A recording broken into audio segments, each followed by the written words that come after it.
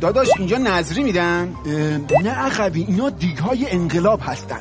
خب پس چرا اینقدر خالی هن؟ نکنه دیر رسیدی آره عقبی دیر رسیدیم. آخراشه دیگه.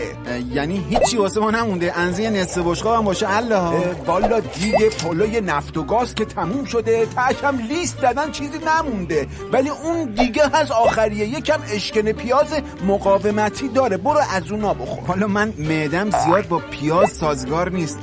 اون, اون یکی دیگ وسطیه چیه؟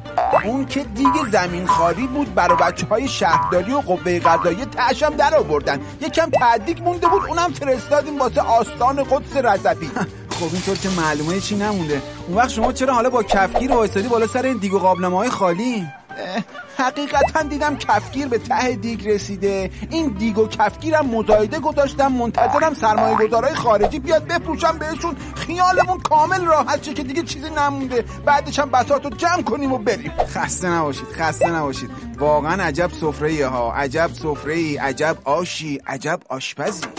برات یاشی بپزم آشپزی یادت بمونه. برات یه من روغن روش بشینه. برات یاشی بپزم که چشمات ببینه